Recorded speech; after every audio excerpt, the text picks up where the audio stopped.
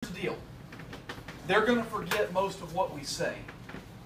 They're going to forget, although it's hard to forget Mr. Myro's pulled pork. They might forget that. The people who have the biggest impact are you.